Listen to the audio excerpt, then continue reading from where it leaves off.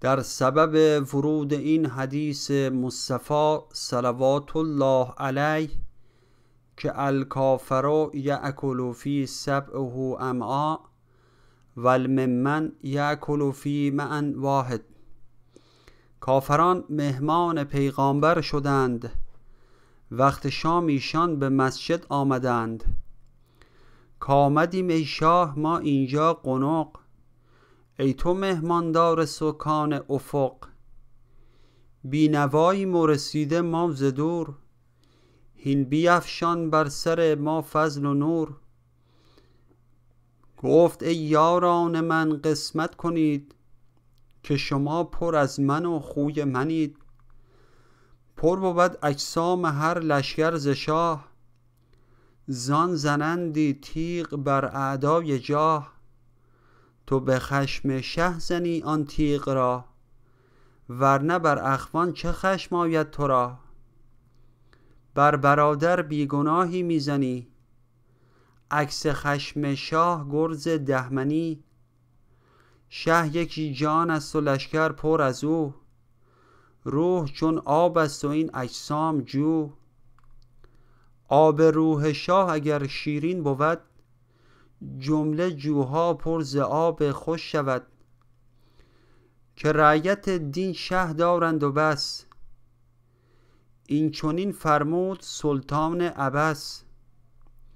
هر یکی یاری یکی مهمان گزید. در میان یک زفت بود و بی ندید چشم زخمی داشت کس او را نبرد.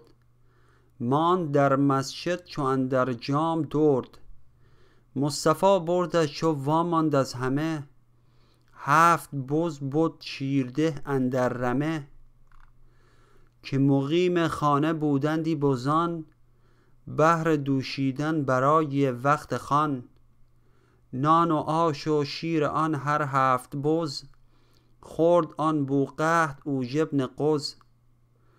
جمله اهل بیت خشمالو شدند که همه در شیر بز طامع بدند معده طبلی خوار همچون طبل کرد. قسم هژده آدمی تنها بخورد. وقت خفتن رفت و در حجره نشست.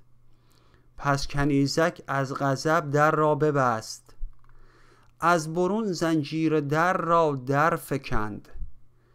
که از او بد خشمگین و دردمند. که از او بد خشمگین و دردمند.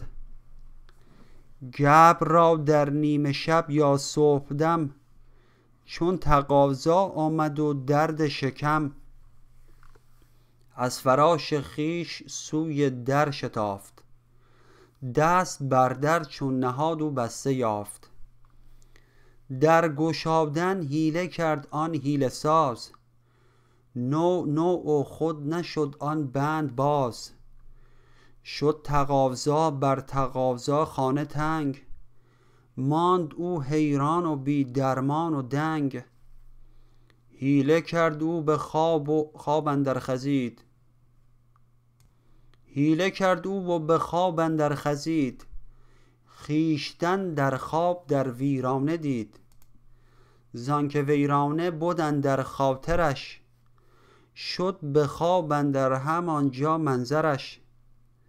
خویش در ویرانه خالی چو دید او چنان محتاج اندر دم برید. گشت بیدار و بدید آن جام خواب پر حدث دیوانه شد از اضطراب. زاندرون او برآمد صد خروش زین چنین رسوایی بی خاک پوش. گفت خوابم بتر از بیداریم گه خورم این سو و آن سو میریم. بانگ می‌زد وا صبورا وا صبور. همچنانک کافر اندر قعر گور. منتظر که کی شود این شب به سر. یا برآید در گشادن بانگ در تا گریزد او چو تیری از کمان تا نبیند هیچ کس او را چنان.